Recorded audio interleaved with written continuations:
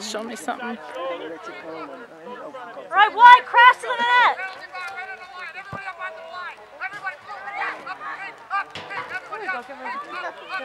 Ten yards.